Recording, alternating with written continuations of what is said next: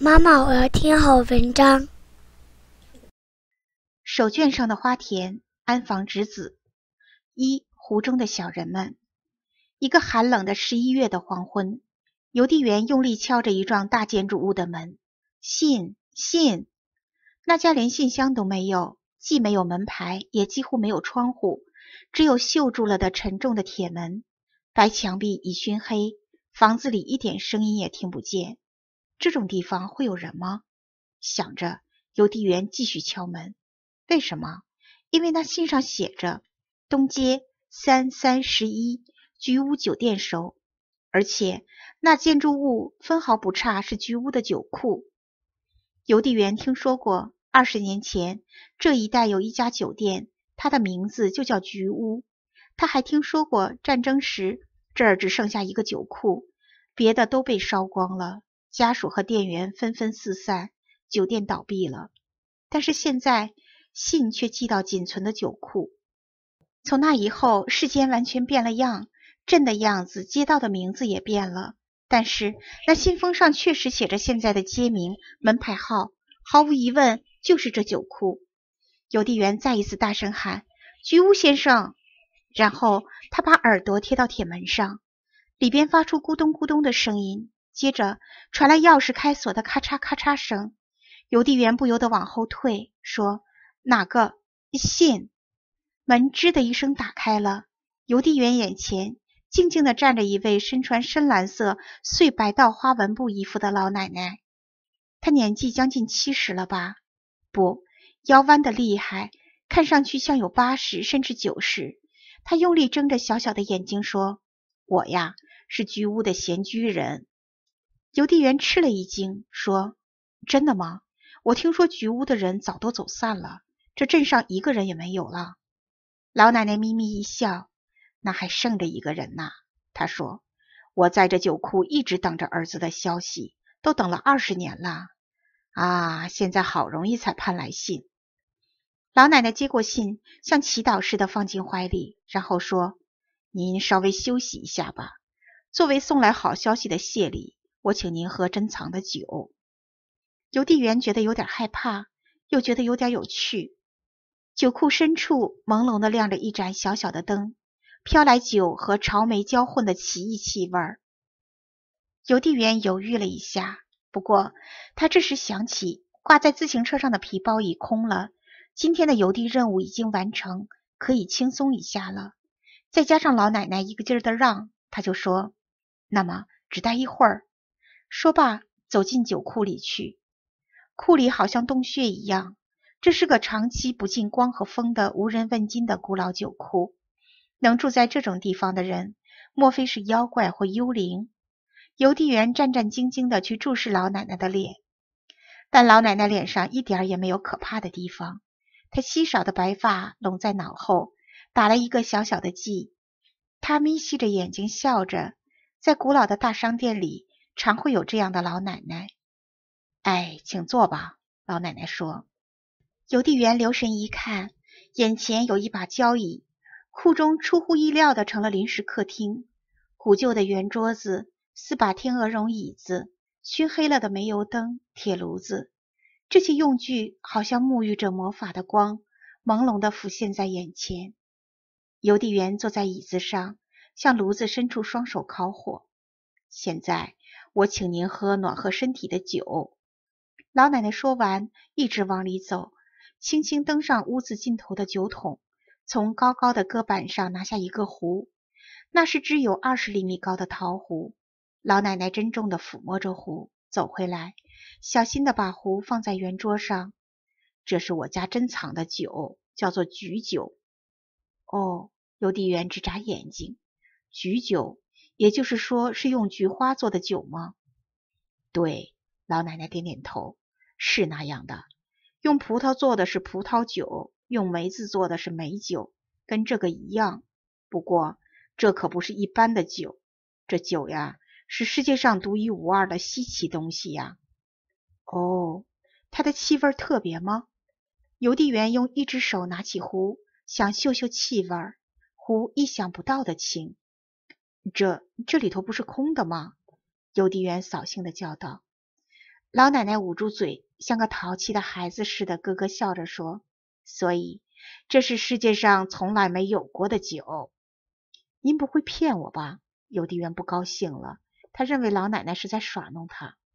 别这样，别这样，别这样！老奶奶把手放在邮递员肩上，您可不要吃惊哦。她在他耳边小声嘀咕：“现在马上要开始一件有趣的事了。”说罢，老奶奶从怀里取出一块白布，摊开在壶的旁边。那是一块镶着花边的手绢，脚上有一个小小的蓝色心形的刺绣。准备好后，老奶奶对壶这样唱了起来：“造菊酒的小人儿，出来吧，出来吧。”造菊酒的小人儿，于是从壶口嗖嗖放下一个细细的绳梯，直达到手绢的边上。接着，一个小小的、小小的人儿从湖里慢慢出来了。邮递员屏住气息：“小人。”他声音沙哑的嘟哝着，瞪圆眼睛，盯着那小人儿从梯子上爬下来。那是个胖胖的男小人儿，系着很大的围裙，穿着黑色长靴。仔细看去，那长靴背面连锯齿形的胶皮都有，手戴白色棉布手套，头戴有些散开了的麦秸帽子，一切都和真人一模一样。这就是造居酒的小人儿，老奶奶小声说。小人蹦地跳到手绢上，仰面朝上，双手围住嘴，做出叫喊什么的姿势。这一次，从湖里出来个女小人，接着又出来三个孩子小人。小人一家都一律是围裙和麦秸帽子，还有黑色长靴。邮递员完全看呆了。下到手绢上的五个小人儿从围裙兜里取出极小的绿苗，开始种植，大概是要在这手绢上培育什么奇异的植物。像在变戏法，小人们陆续不断地从兜里取出苗来，眼看着手绢上成了一片绿色的旱田。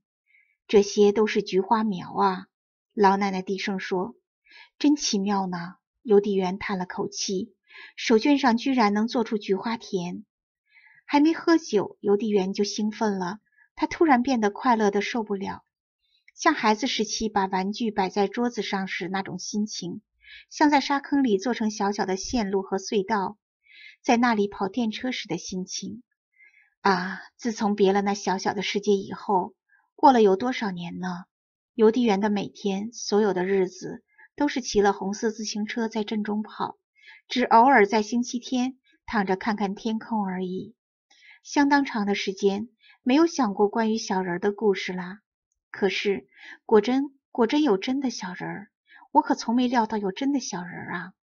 邮递员的心里有点激动。不久，菊苗长大了一些，能看到上面星星点点缀着罂粟种子那么大的花蕾。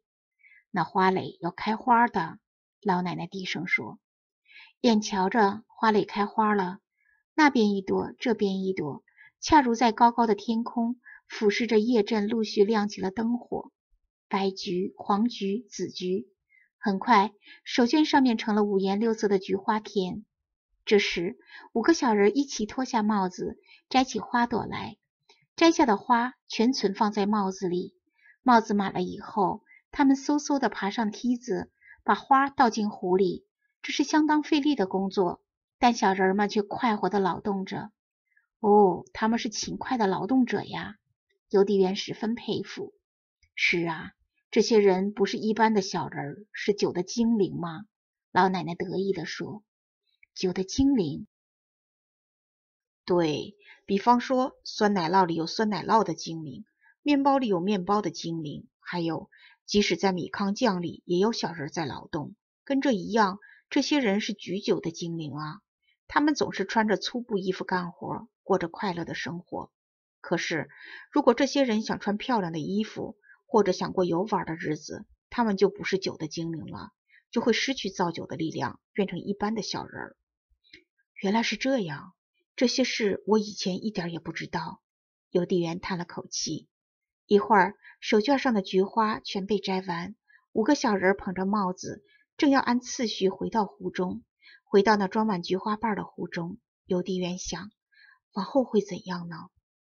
老奶奶把嘴贴近手绢，呼，像要吹熄蜡烛般的呼出一口气。于是小小的菊花田消失得无影无踪，桌子上只有古旧的壶和白手绢，仿佛一切都没有发生过。手绢上什么也没留下，只有角落的蓝色心形的刺绣，像个小点似的浮现着。老奶奶把手绢整齐地叠好，揣进怀里，然后他准备了两个酒杯，接着他指着壶，说着和刚才同样的话：“哎，这是我家珍藏的酒，是菊酒啊。”老奶奶静静地拿起壶，往两个酒杯里咕嘟咕嘟地斟上了酒。确实，确实，那是酒，是香喷喷的、黏糊糊的饮料。邮递员像被施了魔法，完全傻了。老奶奶慢慢的喝干了满杯的酒，然后闭上眼睛说：“这可是好酒啊，喝上一杯心就清爽了。”哎哎，你也别客气，喝喝看。邮递员被让不过，提心吊胆的喝了酒。喝完一杯，闭上眼睛，一片菊花田浮现了出来，花上边照着和暖的秋天的阳光。忽然，邮递员觉得自己现在就坐在菊花田正当中。五颜六色的花上，风儿唰的吹过。不错，我头一次喝这样好的酒。邮递员非常赞赏，连着喝了五杯。但是不论怎样喝，消失在湖中的小人再也没有出来。小人上哪儿去了？他们有时看得见，有时看不见。至少这湖里装着酒的时候，人的眼睛绝对看不见他们。湖空了时再叫他们。他们又会出来造新酒，不过他们一天只劳动一回。老奶奶快乐的笑了，接着她像想起了从前，怀恋的说：“居屋的人们每逢有了庆祝事，就要喝着酒。正月、婚礼、节日，还有啊，对对，儿子在这里时也是这样。”老奶奶灰色的眼睛注视着远方。为了重建烧掉的菊屋，儿子才出门的。从前。这一带一直是菊屋的土地，这样的酒库排列着十几个。没想到战争结束，留神一看，就剩下了这一个酒库，其他都归别人所有了。于是儿子出外去挣钱，走时他对我说：“妈妈，希望您在这儿等我回来，我一定要回来重建局屋。”我呀，相信儿子的话，就在这儿等着。真的啊，今天是多么好的日子啊！那孩子终于来信了。老奶奶砰的一敲胸脯，取出刚才的信。哎呀，哎呀，打算什么时候回来呢？她用手指撕开信封，从里面取出叠成四层的信纸，那儿用大字写着五六行什么。老奶奶迅速的看完后，啊的发出奇妙的声音，然后站起身。这可不得了！怎么了？邮递员吃惊的站了起来。老奶奶没牙的嘴呼呼的喘着气，说道：“希望我马上去。他赚了好多钱，财产一大堆，希望我去帮他料理。那孩子总是这样。”老奶奶完全沉不住气了，急匆匆的围着桌子打转转，嘟囔着：“不管怎么说，我现在必须马上去。现在马上去，究竟去哪里？特别远的地方呢。”老奶奶考虑了一会儿，猛一抬头。目不转睛地看着邮递员，这样说：“我说你呀，当我不在家的期间，能不能代为保管这个壶？”啊！事情过于突然，邮递员什么话也说不出来。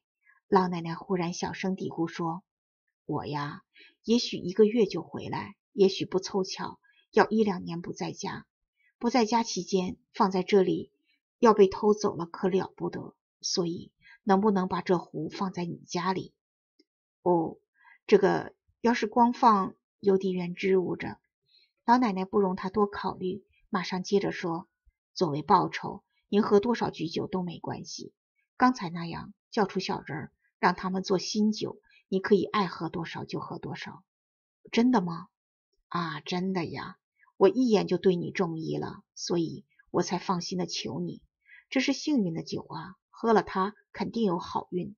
不过呢。”老奶奶突然用极其严厉的目光注视着邮递员的脸，补充道：“有两件事你要牢牢记住。”邮递员点点头，等待老奶奶的话。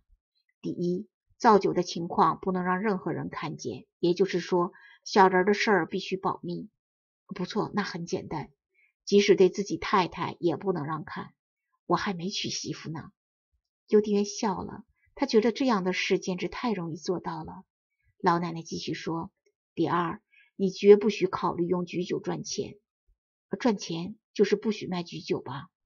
邮递员是个正直的人，当然不会有那样的想法。对，约定就这一些，打破它会出大事，没准会给你带来不幸。说罢，老奶奶把壶交给邮递员，邮递员战战兢兢地接了过去，然后向老奶奶道了谢，走出酒库。当酒库的门在后面砰的关上的时候，外边仍然是黄昏。大楼的那边，红红的夕阳熊熊的燃着，室内电车载着满员的乘客跑着。邮递员把壶放进空皮包里，跨上自行车，装作若无其事的样子，向绿信号灯的方向骑去。二新娘来了。邮递员独自一人住在邮政局后面的小公寓里，他的名字叫梁夫。他从远远的乡村出来，刚刚半年，还没有女朋友，再加上由于不熟悉工作，很容易疲劳。就在这种时候，他保管了那奇异的壶。邮递员梁夫对自己能有了不起的秘密觉得高兴，他尤其感谢能白喝那上等的菊酒。他把壶收放在自己房间的壁橱里。到了晚上，他把窗帘全放下来，把壶轻轻搁在小桌子上。然后从自己的手绢中选出最小的一块，摊开在湖旁。准备好后，他低声唱：“出来吧，出来吧，造菊酒的小人。”于是从壶口嗖嗖的落下梯子，五个系围裙的小人就出来了。一切都跟老奶奶做的时候一样。小人一家从围裙兜里拿出许多绿苗来种，开了花，摘下来放进帽子，倒在壶里。反复好几次，等小小菊花田的花都没有了，才又回到壶中。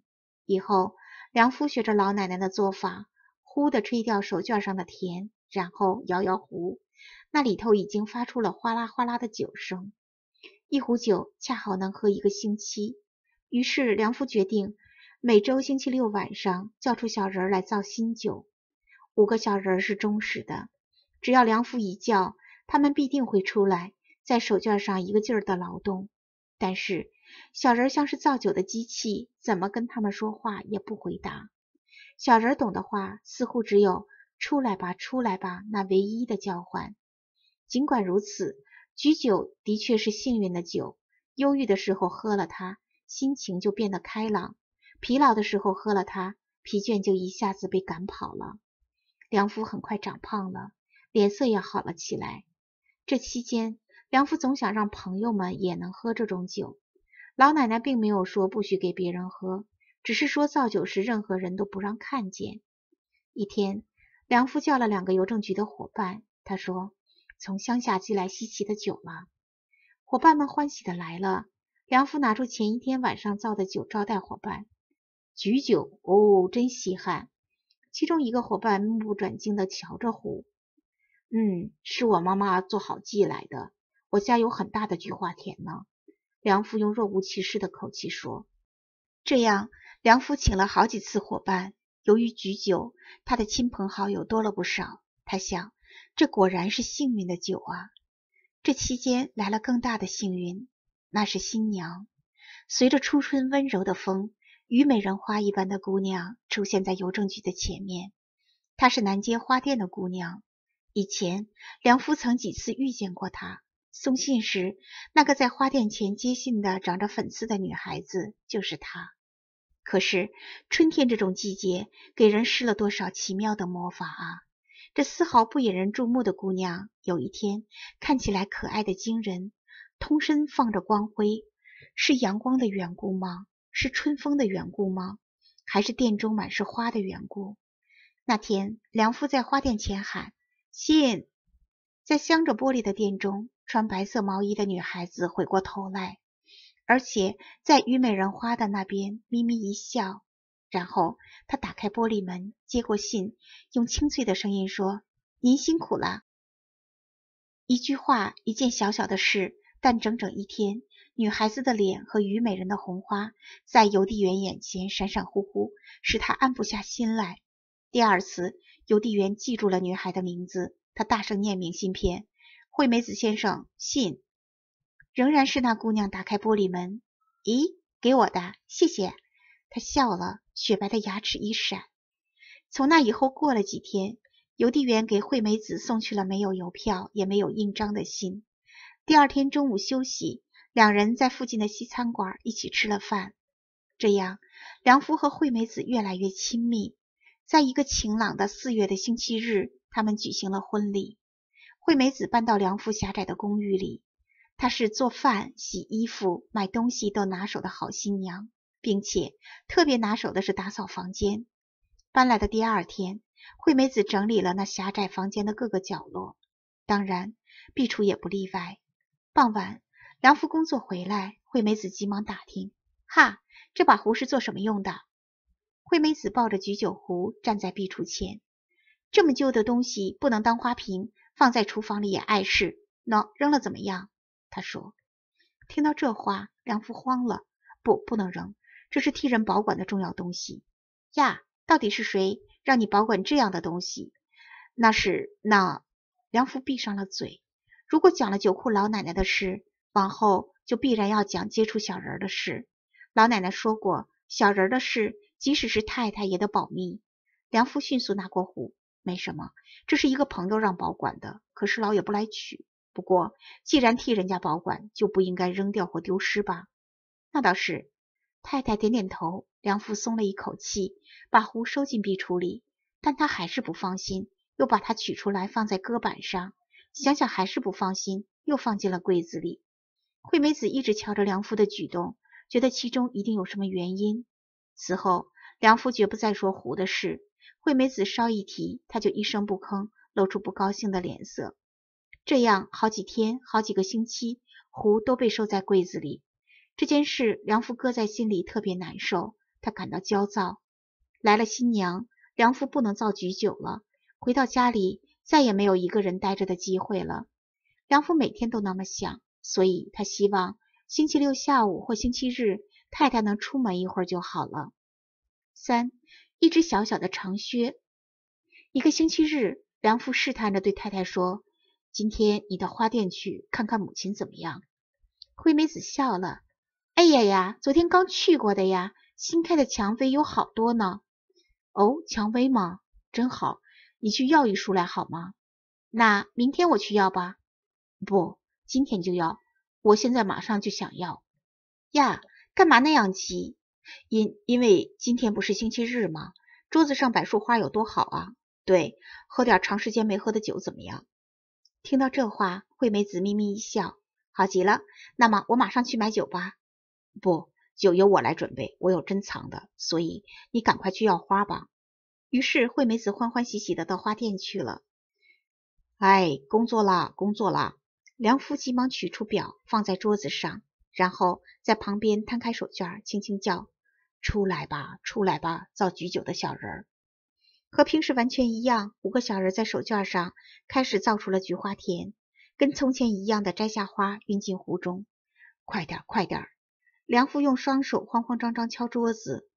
到花店去只要走五分钟。惠美子到花店慢慢聊天才好呢。可如果她兴冲冲的马上回来了呢？快点，快点，让别人看见可不得了。但梁夫的声音似乎根本没有进小人的耳朵。他们攀上梯子的步伐一点也不快。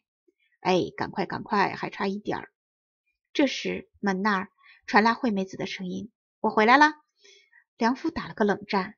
“快吧，我是急急忙忙去的。瞧，这么漂亮的蔷薇！”惠美子嚷嚷着。小人们终于干完活，四个人消失在湖中，最后一个人正在攀登梯子。这时，梁夫用指头抓住剩下的一个小人儿，按到了湖里。干这种粗暴事还是第一次，他的心扑通扑通跳着。然后他敏捷地朝手绢呼的吹口气，这才回过头，翻着白眼说：“呀，回来了。”惠美子抱着大花束站在那边。哦，多好的蔷薇呀，真棒啊！梁夫装作十分吃惊的样子，实际上他浑身已是汗淋淋的了。当天晚间，铺着白布的桌上摆着蔷薇花和许多好吃的食物，还有那古旧的壶。喝过味美的菊酒，惠美子想，今天究竟是什么纪念日呢？不过是一般的星期日呀。她感到有点奇怪。星期一早晨清扫房间的时候，惠美子发现桌子底下有一块团的皱皱巴巴的白手绢。她一下子拾起来，展开看看，只见手绢里扑的掉下一个小小的黑东西。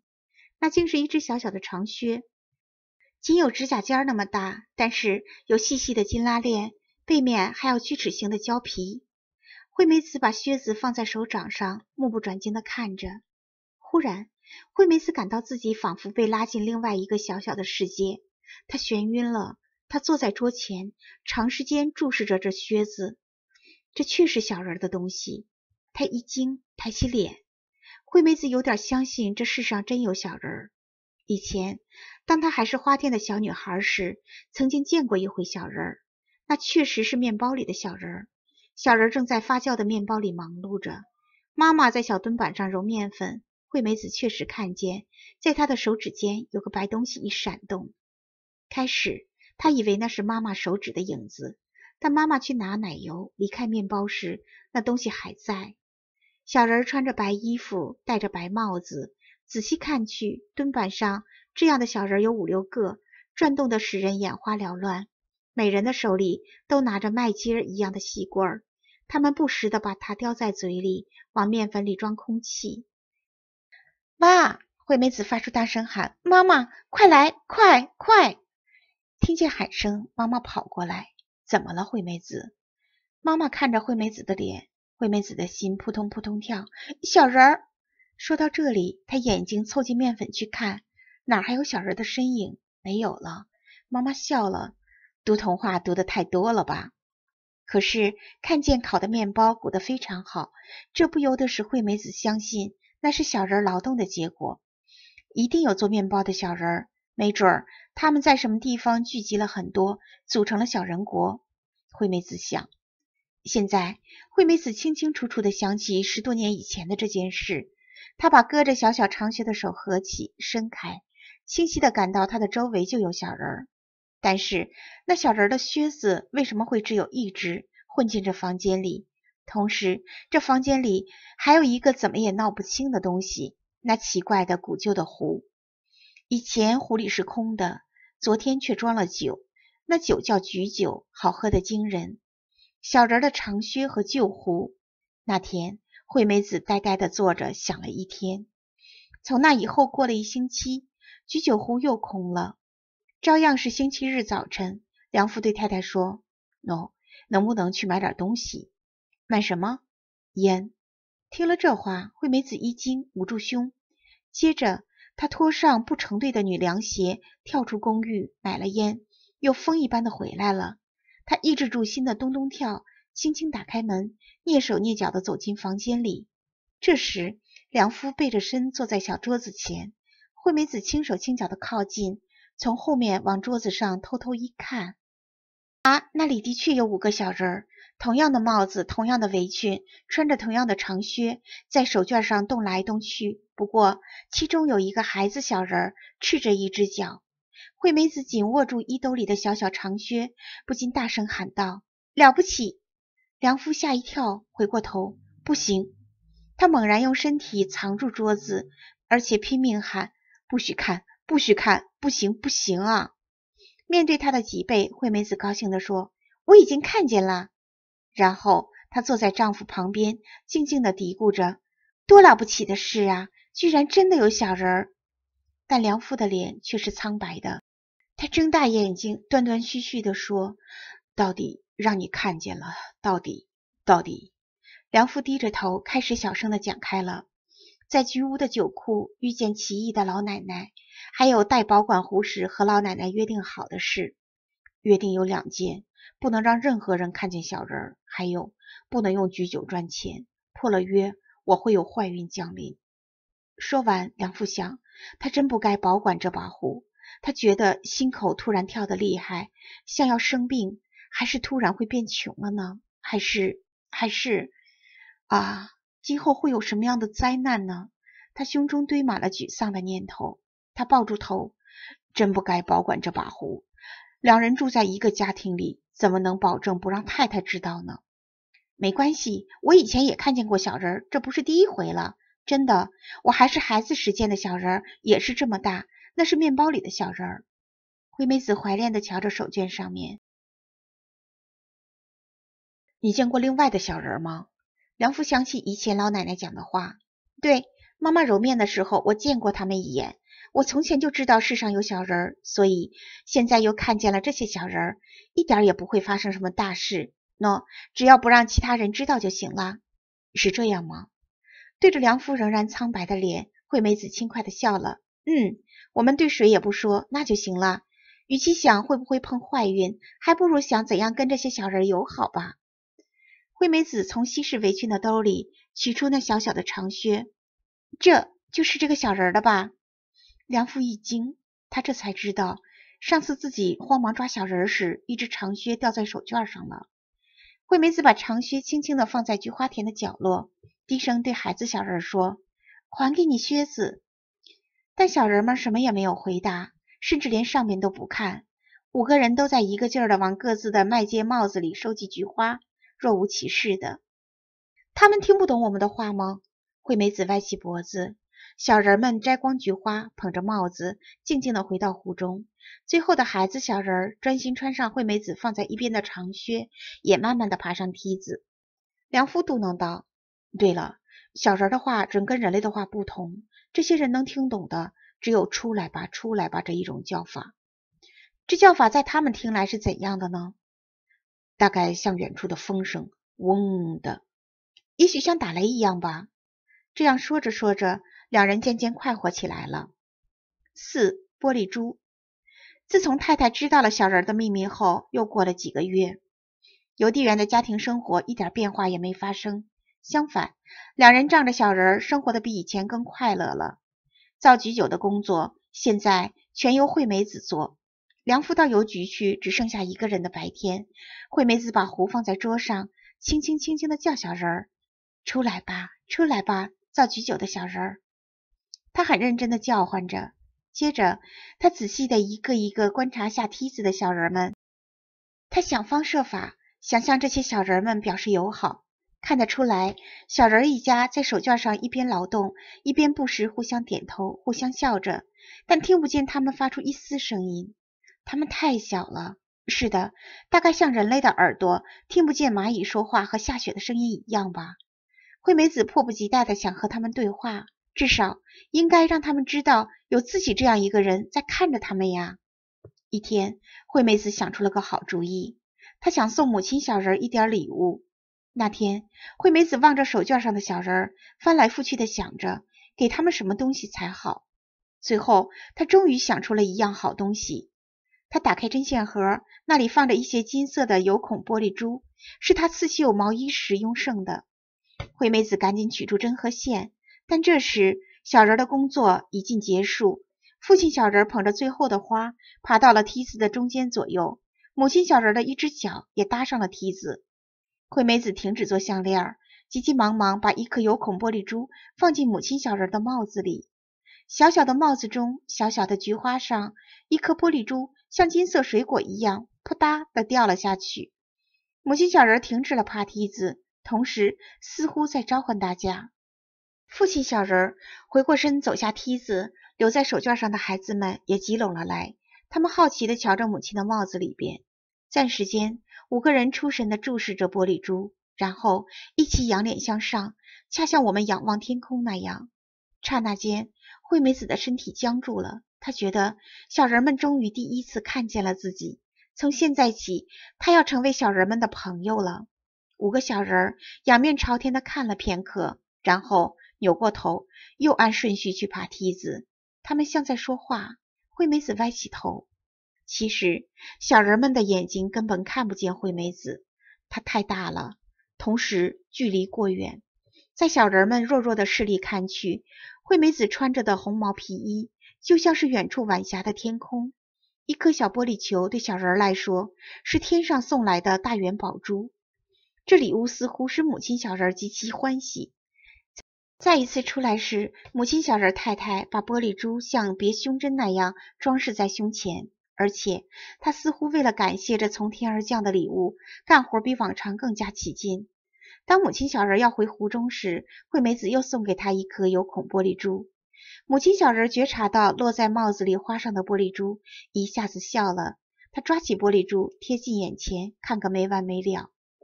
知道了湖的秘密，惠美子有了另一种快乐。那就是把造好的酒倒到漂亮的玻璃瓶里，送给熟悉的人们。所有的人都喜欢菊酒，大伙儿都说生下来还是第一次喝这样美味的酒。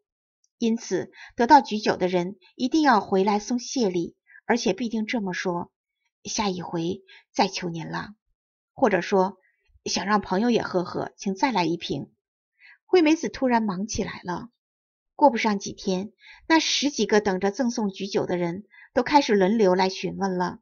其中有人为交换酒送来漂亮的时钟，也有人给惠美子织毛衣。不，那人已经差不多把毛衣织好，在等着惠美子送酒来。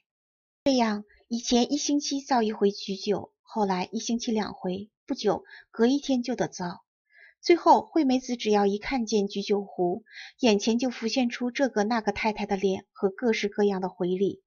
时间不长，邮递员小小的住处堆满了回赠的礼物：一人一双毛拖鞋、大电器台灯、壁挂、雅致的门帘、亲手做的点心、珍奇的水果、华丽的石器、出色的花瓶等等。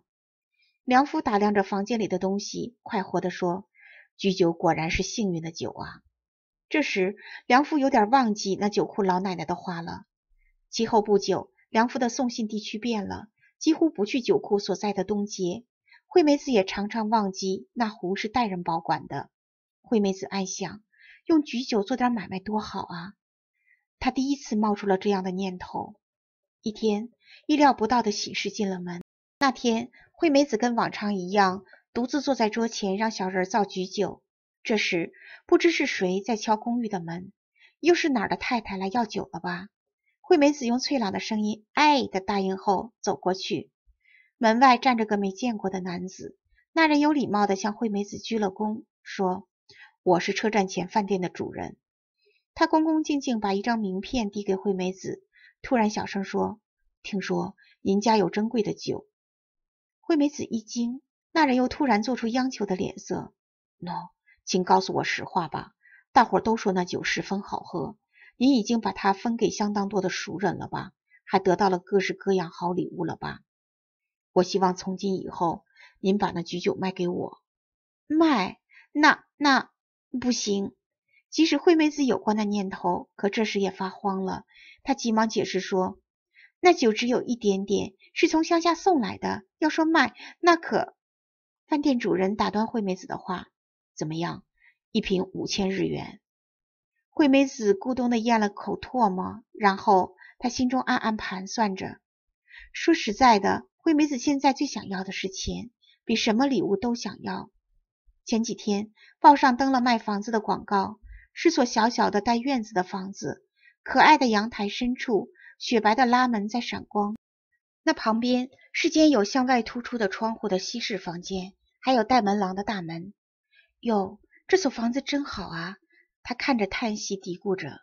丈夫斜眼看了看，说：“没有钱，什么也办不了。”真的，这所房子的要价带着许多零呢。现在想起这件事，惠美子的心动摇了。她闭上眼睛，但饭店主人的声音像早晨的新闻一样清楚地流进她耳朵里。喏，怎么样啊，太太？五千元一瓶，一天就要一瓶，您看行不行啊？惠美子慌了神，嗯，不不，那个那个，饭店主人从兜里掏出一个雪白的信封，好像已经说定了似的，干脆的说：“这是今天的钱，请劳驾给拿一瓶吧。”惠美子不由得接过信封，接着她跑进房间，急忙把刚造好的菊酒倒进玻璃瓶，她的手瑟瑟发抖，洒了不少酒，心底有个声音在嘀咕：“这不行，不行。”可是那大院子的新家在脑子里一浮现，他就毫不犹豫地来到大门口，递过瓶子，低声说：“那个这件事暂时请对谁也不要说吧。”饭店主人回去后，惠美子关上门，上了锁。她坐在房间正当中，心胸扑通扑通的跳。打开那信封看，里边确实有一张五千元的票子。她下意识地向四周看了看，飞速地把钱收在柜子抽屉里，但还是担心，又把钱放在镜子后面，那也不行，又夹在日记本里。知道了这件事，梁父一定会发怒吧？可这时，惠美子想起了母亲小人儿。惠美子打算以后一直给他送玻璃珠做礼物，而且觉得用菊酒换成钱是会被小人们允许的。如今，惠美子胸中膨胀起一个很大的计划，赶紧离开这只有一个房间的公寓，搬到带院子的舒服的家里去。他心中暗暗盘算起今后积钱的计划来。从那以后，小人们。每天每天都被惠美子叫出来劳动。惠美子把从星期一到星期六造出的酒偷偷卖给饭店，只有星期日造的酒才为自己家留下。一天的工作完成，作为奖品，母亲小人便得到一颗有孔玻璃珠。小人太太用细线把玻璃珠穿起来，挂在脖子上。小人脖子上的珠子增加一颗，惠美子的秘密钱就增加一张。这对邮递员的太太。当然是激动而了不起的事。没想到有一天，饭店主人提出希望惠美子能卖给他更多的居酒，这样出色的酒轻易找不到，因为他我家的客人增加了好多，每天两瓶怎么样？不，三瓶四瓶，不论多少我都买。呀，真的！惠美子的脸变成蔷薇色，但这件事可有点勉强，因为小人一天只能出户外一回。并且一回只能出刚好一瓶的酒，到现在试了多次都是这样。这一天一瓶已经很勉强了。惠妹子遗憾地说。饭店主人却不让步，别说这样的话，能不能想办法再分给我一点？分给别人的份能不能卖给我？至少一天两瓶。惠妹子想啊，如要真能做到，那该有多好啊！嗯，想个什么办法看？惠妹子这样回答。以后，惠妹子一连想了好几天，怎样才能一次取得两瓶酒？一天，她终于想出了妙计。对呀，她啪的一拍手，赶紧打开柜子，拿出一块新手绢那是特别大的手绢摊开来有以前的两倍。使用这个，菊花田会扩大一倍，酒也应该能取得两倍。这么简单的事，以前怎么会想不到呢？他把大手绢摊在湖旁，叫唤小人儿：“出来吧，出来吧！”造菊酒的小人儿，跟往常一样，五个小人从湖中出来了。母亲小人的项链已经相当长，一直垂到肚子上，闪闪发着光。而且她的丈夫也正在做项链，大半下一回该是孩子们的了。玻璃珠多少都有，所以要拼命干活呀。惠美子嘀咕着，比往常宽得多的手绢上，小人们一个劲儿的种苗，直种到各个角落。对对，就是这样。惠美子敲着桌子，尽管手绢大了，小人们的工作情况却丝毫没有变化。但等到手绢上的工作全部结束，五个小人消失在湖中后，发生了麻烦的事。惠美子吹去了菊花田，突然酒从湖里溢了出来，不得了了！惠美子慌里慌张去找抹布，这功夫菊酒仍然像泉涌似的嘟嘟的往外溢，桌子上刚好洒了一壶的酒。擦着湿桌子，惠美子很长时间的想这是什么原因。一会儿，她醒悟的点点头，酒溢出来那是当然的，因为小人们造出了平常两倍的酒。惠美子点了好几次头。第二天，一次获得两瓶酒的方法终于成功了。这样，惠美子开始一天卖给饭店两瓶菊酒，饭店主人特别高兴。谢谢，今后还请多关照，有多少我都买。这最后一句话。留在惠美子的耳中，怎么也离不开。有多少都是的，哪怕是现在的五倍、十倍，饭店都会买的。惠美子心里直发痒。第二天，湖旁边代替手绢摊开了包袱皮儿，下一次更大的包袱皮儿，再下一次用上了桌布。桌布没法摊在桌上，改成铺在房间里的草垫上。桌布的田地对小人们来说似乎太宽广了。小人们种了一半苗，必定要擦一次汗；摘了一次花，也要擦一次汗。从前是快乐的、从容的劳动，现在是目不旁视、胡乱劳动了。即使那样，干完活也得花费将近一个小时。这一个小时对小人儿也许长得像一个星期或者十天吧。蹬梯子回去的小人们的腿有点摇晃了，但小人一家劳动得很好，大概是由于那玻璃珠。惠美子自己也觉得有了快乐，她也比以前忙多了。吹去桌布上菊花田的工作，不能简单的像从前那样，呼的轻轻一吹气就行。等全部吹完，已经喘不上气，筋疲力尽。接着。趁造成的酒还没溢出，把它巧妙地装进瓶子。当他系着大围裙往瓶里装菊酒时，觉得似乎自己成了酒店的老板娘。自从惠美子把菊酒换成钱以来，好多天过去了，什么事也没有，连良夫都不知道。机灵的惠美子只有良夫在家的星期日，才用原来那块小手绢去造菊酒。什么事也没发生，惠美子暗中放心了。每逢一天天无事的结束，她都要摸着胸膛松口气。慢慢的，他觉得一切都是理所应当的，因为这件事是小人们跟自己的交易。只要小人得到玻璃珠，能欢喜的劳动，就对谁也不用顾虑。五，小人们跳舞。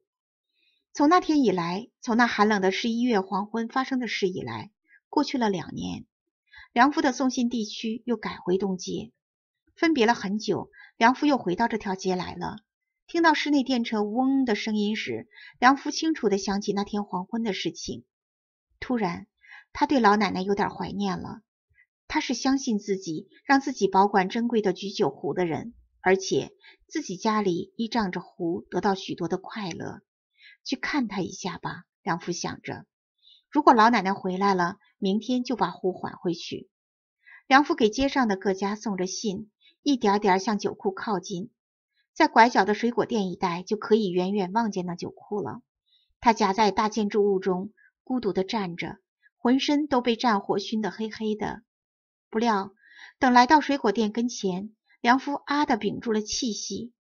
酒库不见了，酒库连影子都没有了。酒库的位置上正在盖新的大楼，粗钢筋架上写着“某某建设”的白色覆盖物。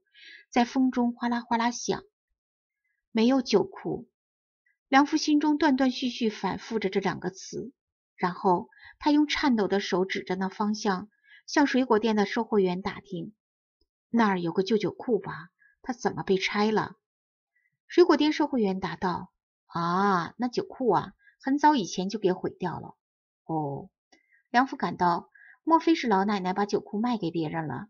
他歪着脑袋，又骑上自行车，穿过信号灯，靠近那正盖的大楼。喂喂，这儿发生了什么事？邮递员问工地一个戴头盔的人：“喏，这大楼是谁的？”那个人啊的歪起脖子，然后说：“详细情况我不太知道。原先这儿有一个古老的酒库。嗯，我知道啊，库里有天鹅绒的椅子，有间暗暗的客厅吧？客厅？”戴头盔的人显得有些吃惊。邮递员点点头：“嗯，大概两年前，我给那酒库送过信。那时，里面的老奶奶让我保管一个东西。”“别胡说八道！”戴头盔的人张大嘴叫喊：“那里面怎么能住人？我毁仓库时亲眼看见的，里面是空的呀，连一个桶也没有。周围的墙壁破破烂烂，破得够厉害了。”听到这话，邮递员猛烈地摇头：“不可能，不可能！”他大声喊着，猛一回头，只见在工地劳动的许多人都停住工作着的手，往这边看。邮递员不好意思了，急忙跨上自行车。他沿着东街一家一家的跑，心想两年前的那件事是不是自己在做梦？从那以后，梁夫对做菊酒非常热心。为什么？因为每月卖菊酒的钱比他从邮政局领到的工资多好几倍。每天晚上。他和惠美子给小人送谢礼，暂时沉浸在小人们的世界里，真有说不出的快乐。等全体小人都挂上项链时，惠美子提议道：“老戴那样的麦秸帽子多可怜，喏，给他们一人一顶漂亮的毡帽怎么样？”啊，这是个好主意。顺便也给他们做鞋吧，不是那样的长靴，而是又轻又漂亮的鞋。听到这话，惠美子立即打开针线盒，捡起做帽子和鞋用的布来。由于尺寸太小，只好使用镊子，累得她眼睛都睁不开了。此后，两人想方设法给小人一家赠送各种各样的礼物。给母亲小人长裙子和带花纹的披肩，给她的丈夫有条纹的裤子和西装背心儿，给孩子们一色的蓝上衣。最后，梁夫做了一件意想不到的东西，那是豆粒儿般大小的小提琴。这把小小的乐器是梁夫使用放大镜和镊子费了一晚上才做出来的，尽管小，却做得很好，绷着四根细琴弦，还有小小的小小的弓。两人把小提琴悄悄地放在梯子下面，心情激动地等着小人们结束工作。现在，小人们全都穿着漂亮的服装。母亲小人的长裙子是庄重的天鹅绒，她丈夫的裤子挺直而有裤线，孩子们的上衣也相当妙。同时，他们穿上了仪式的毡鞋，看上去轻快的像芭蕾舞鞋。不料，由于服装过于华丽，小人们的工作比以前更费时间了。种苗时，母亲小人自己常因踩了裙子下襟而跌倒；父亲小人和孩子们唯恐弄脏得之不易的上衣和裤子，因而十分留心。玻璃珠项链也净碍事儿。美惠子做的帽子比以前的麦秸帽子小得多。搬运菊花特别费时间。做完一次桌布上的工作，五个人都累得摇摇晃晃的。就在这个时候，小提琴被轻轻地放在梯子下边。父亲小人首先发现了它。提心吊胆地挨进去，接着他叫来母亲小人儿。母亲小人看见小提琴，伸开双手，露出非常吃惊的样子。然后他又把孩子们召集了来。五个小人弯下身，看了小提琴一会儿。当知道那是真的时，他们欢喜地跳了起来，比得到帽子、得到西服的时候还要欢喜。他们拉着手，围着小提琴站成一圈，咕噜咕噜地转开了。哦，他们喜欢音乐呢。是啊，瞧他们那高兴劲儿！父亲小人先拿起小提琴，夹在下巴下面。他右手拿弓，在细细的弦上轻轻轻轻的来回擦。小提琴似乎在叽叽的响。那是什么曲子呢？声音太小，两人的耳朵听不见。大概是三拍子的圆舞曲。因为母亲小人展开裙子转开了，跟着孩子们也跳了起来。真棒！惠美子喊道。小人们完全忘掉造酒的事儿，蝴蝶般不停地跳舞。确实，这天小人一家跟往常完全两样，特别兴致勃勃，甚至过于兴致勃勃了。父亲小人拉着小提琴，猛然朝意想不到的方向前进，朝着桌布边缘。母亲小人和孩子们一面跳舞，一面跟在后边。一瞬间，惠美子的心咯噔一声，但已经晚了。来到桌布边缘。父亲小人飘然跳到草垫上，接着他消失了。跟着母亲小人和三个孩子也都陆续来到桌布外边消失了。这只是一转眼的功夫。梁夫和惠美子脸色苍白，这究竟是怎么回事呢？他们上哪儿去了呢？惠美子掀开桌布看，又在草垫缝里寻，一个小人也没看见，剩下的只有空壶和大白桌布，还有小人们忘了的五顶帽子。像从长梦中醒来一样，两人呆呆地坐着。六不安的日子，小人们虽然消失了，但卖菊酒得到的钱都已积下了好多，那正好能买一所新房子。因此，两个人想早点安个新家。有那么一天，和平常一样，梁父在东街从这店到那店的送信，突然，意料不到的一行字跳进他的眼帘：“菊屋酒店。”那字写在一块大的出奇的招牌上，刚做好，还有油漆的气味儿。梁父一惊，停住自行车。他觉察到那儿确实就是原先古老酒库的位置后，不禁惊慌失措起来。酒库后面建成了钢筋混凝土的漂亮酒屋商店。这这到底是怎么回事？他感到浑身发凉，待了好长时间。新的菊屋酒店镶着玻璃，排着好几个货架。穿工作服的年轻店员正在摆货物，店前排着一排庆祝开业的花环。抑制住心脏的咚咚跳动，梁夫像逃跑似的离开了那里。那一天，他都记不得自己跑了哪些地方。傍晚，他步履沉重地回到公寓，接着把发生的事讲给惠美子听。新的菊屋酒店开业了，老奶奶早就回来了，可能就在那店里，不久就会取壶来了。从那以后，两人心中整日沉甸甸的，还不时感到毛骨悚然。这种感觉日益加重。没几天，两人白天不能工作，晚上也睡不着觉，只要呆着不动，就有不知来由的寒冷从脊背上袭来，风吹门晃也要按住猛跳的心，树叶影子映到窗上也会蜷缩起身子来。我说，在这儿住着可不太妙啊！啊，尽量快点搬到别处去吧。于是两人每天都瞧新闻广告找房子。一天，一封信寄到梁父家。是一则出卖房子的广告，广告上大字写着“郊外绿荫之家，明天起便能住”，还登着张照片，红房顶，小而整洁的房子，另外带着草坪的院子。房间的窗户上镶花边的窗帘在摇动，而且价格和两人存的钱差不多。两人脸对脸，轻轻点了点头。七去红房顶的家。这样，两人买下广告上登的房子，悄悄搬了家。他们和公寓的人们和花店的母亲都没有告别，越快越好，远远的躲开去。梁福和惠美子心里只有这一个念头：等搬去那儿以后，再给他们写信吧。两人来到车站，乘上去郊外的电车。那是清晨第一趟电车，其他乘客一个也没有。在仍然沉睡着的城镇大楼之间，电车咕咚咕咚的跑，一会儿。渡过铁桥，穿过杂树林，横穿过一片荒草的原野。红房顶的家在等着我们呢。惠美子兴高采烈地说：“嗯，这下放心了。”空荡荡的电车里，两人像小学生去远足那样的开心。马上就过隧道了。梁福从窗户探出脑袋叫道：“惠美子晃荡着两腿点头。隧道可真了不起，整个电车像被突然吸进漆黑的黑暗中。嗡。”惠美子禁不住闭上眼睛。这时，就在这时，两人产生了一个奇妙的感觉，仿佛连同电车和自己都被一股什么魔力吸进一个神秘的小小的小小的洞穴里。哇！惠美子不由得发出一声尖叫。等她睁开眼时，电车已穿过隧道，在白色的晨雾中咕咚咕咚接着跑。我头晕。惠美子把手贴在额上。嗯，我也是。我觉得身子像在缩小。梁父捂住胸，但是从电车窗口吹进的风非常凉爽，两人一会儿就把这事儿忘了。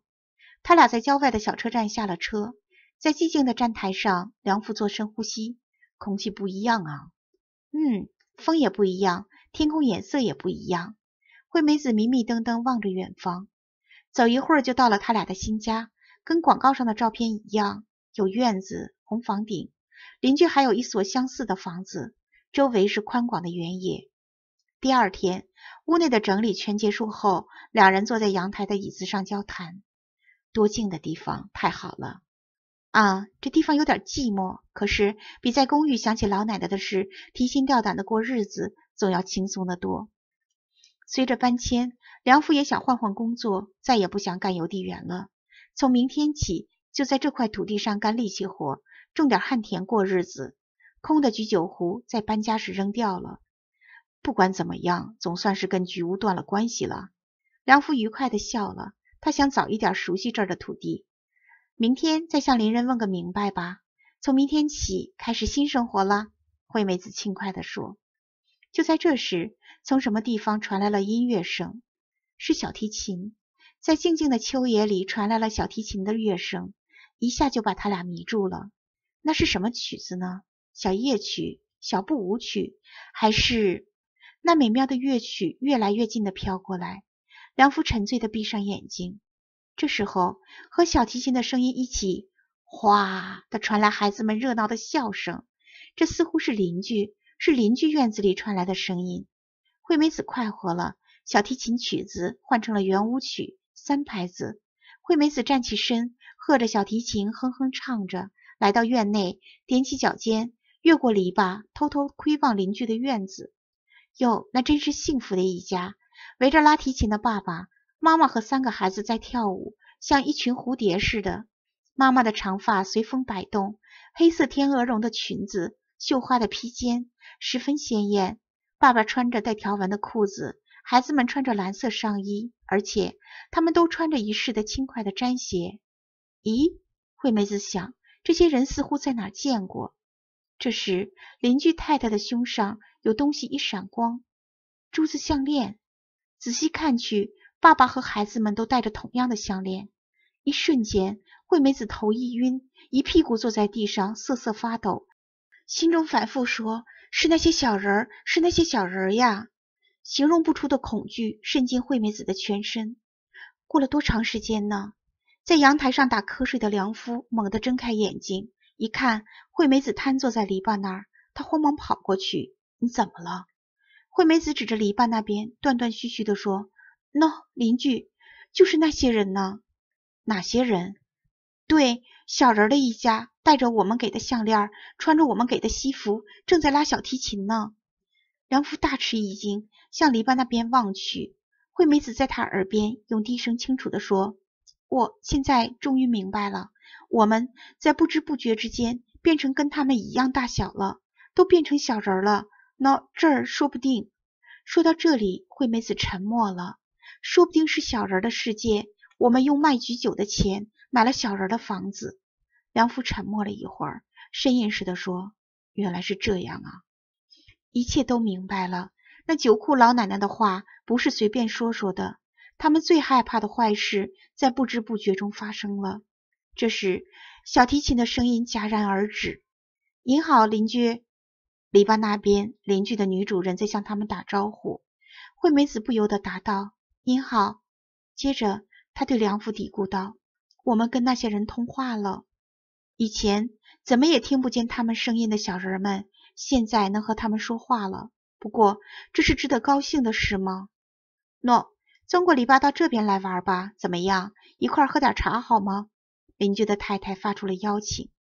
篱笆上有个破洞，从那里钻过去可以直到邻居家。两人钻过了篱笆，邻居也是红房顶的家。房间前面有小小的阳台，都有名字，但两人心神恍惚，什么也没记住。他们现在终于知道，三个孩子中最小的是个女孩，女孩像棍子一样直立着，笑嘻嘻的。可是两人连他的头也忘了摸一摸。梁福和惠美子心里只想着一件事：请问这到底是什么地方？梁福战战兢兢地问。邻居的男主人用布擦着小提琴，快乐地答道。这是我们的故乡，故乡。这么说，这么说，嗯，有一段时间我们外出了，最近又回来了。现在我们在这儿过得很快活，每天又唱歌又跳舞。听到这话，梁福和惠美子偷偷去看天空。小人国的天空是深蓝色的，飞着零碎的白云。可是，这是真正的天空吗？如果现在有人从上面俯视这块土地的话，梁福悚然了。他下决心要想个办法恢复成原来的大小，回到人类世界里去。那个，我们是坐电车到这里来的，这儿有电车在跑吧？坐上它，我们还能回到原先的城镇去吗？电车？邻居的太太愣了一下，然后歪着头笑道：“我们这儿从来没有什么电车呀。”希望的线扑哧的断了。梁福和惠美子脸色苍白，相对无言。后来。两人在阳台的桌子前被招待喝茶，那是有奇异香味的小人的茶。只喝下一口，两人的心中恐惧、担心、悲哀都像雾一样消散了。再喝一口，胸中有点像啪的亮了灯那种感觉。接着再喝下去，那灯变大，两人的心完全明亮了，甚至还有点兴高采烈起来。胸中像有一个鼓，演奏出美丽节奏的音乐。那音乐越来越大。和远方空中那边响着的风声混成了一体。这风的响声，梁父是记得的。他按着节奏，轻轻用自己知道的语言相唱和：“出来吧，出来吧，造句酒的小人儿。”他突然唱起来了。惠美子也唱这支歌。邻居男主人拉起了小提琴，邻居太太和孩子们也唱道：“出来吧，出来吧，造句酒的小人儿。”唱着唱着，梁福和惠美子把以前的事忘光了。做过邮递员的事，曾经是花店姑娘的事，卖菊酒的事。两人觉得他们自打生下来就是生活在这里的。此后的日月，梁福和惠美子在这块奇异的土地上悠闲快乐地度过了，什么事也没发生。可是不知从什么时候起，惠美子心里想要一双像邻居那样的舞鞋。邻居太太送来了这出色的礼物，两双鞋，用原野上结实的草编得紧紧的。鞋尖儿还带着金色的玻璃珠，呀，做的这么好，真多谢了。惠美子抱住鞋道了几次谢。哦，相当漂亮啊！梁父也对鞋很中意。多轻啊，好像风穿的鞋。惠美子的声音像少女一般。穿上鞋，梁夫和惠美子的心里突然冒出一个强烈的愿望，想到远处去呀。系完鞋带，惠美子喊道：“哈，原野的那一边有什么呢？”啊，我也很想知道。原野的那一边总是罩着浓浓的雾，什么也看不见。而且两人以前从来没有想过那里有什么，正像我们在生活中几乎不考虑远远的天际究竟有什么一样。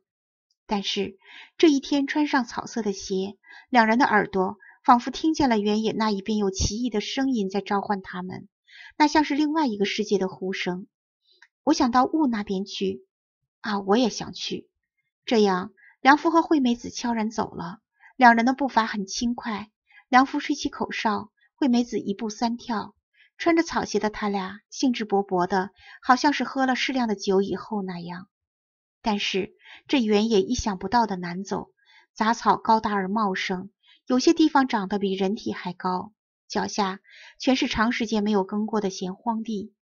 不时在远方天空，风唱着那听熟了的歌，风在唱完后必定要有悲伤般的叹息，嗡，像是船上的汽笛留下长而寂寞的尾音。尽管如此，不知为什么，原野怎么走也走不到尽头。相反，使人觉得越走越远。走着走着，两人迷失了方向。等他们觉察到时，已经完全走进雾中来了。有点冷，也许已是黄昏。桂美子忽然想：莫非两人只是在原野上咕噜咕噜转圈吗？嗓子渴了，梁父突然嘟囔：“嗯，哪有喝才好呢？”这时，惠美子觉察到自己的鞋湿漉漉的，仔细看去。原野的草中间有水在流，一条细细的小溪。呀，这有溪水！惠美子发出尖细的叫声。从哪流出来的呢？可是由于雾，前面几乎看不见。梁福和惠美子决定先沿着隐约的水流声走到前面去再说。走了多少路呢？两人终于找到一眼泉，那是小小的蓝色的泉，涌出清澈冰凉的水，茂盛的草中。这眼蓝色的呈心状的泉，有如被遗忘了的遥远的回忆，静静的睡着。两人蹲下身，喝了凉凉的泉水，顿时云消雾散，忘记了的各种事都想起来了。两人的心中陷入极大的惊恐和悲哀。两人把以前的事清楚的一点不剩的想了起来，搬到这块土地以前所有的事。这时，风又唱了。出来吧，出来吧，造菊酒的小人儿。这支歌的意义，现在两人终于明白了。逃啊！梁父猛地站起身，从这块土地上跳出去，跳到泉那边去。两人牵着手跑，跑啊跑啊，不停地跑，朝着泉水那边的雾中跳了过去。您来啦！谁在耳边说？低低的、沙哑的声音。两人一惊，睁开眼。是没见过的耀眼的商店，荧光灯闪耀着，大货架上整齐的摆着酒瓶和罐头。就在身边，穿着碎白道花纹布衣服的、满脸皱纹的老奶奶，庄严而端正的坐在椅子上。您来啦，这是菊屋新开的商店。老奶奶膝上摊着一块白手绢，镶花边的，有蓝色心形刺绣的那手绢。梁夫和惠美子偷偷的互相看了一眼。我们以前就在这里呀，在那么小小的地方转来转去呀。老奶奶朝手绢呼的一吹一口气，迅速把它叠好，揣进怀里，然后微微一笑，问道：“你们要什么呢？白酒吗？啤酒吗？”他似乎根本不记得邮递员的事了，不，好像从来就不认识他们。那个，那个。梁福想打听小人的事，但终于没有说，因为老奶奶的脸过于庄严和平静。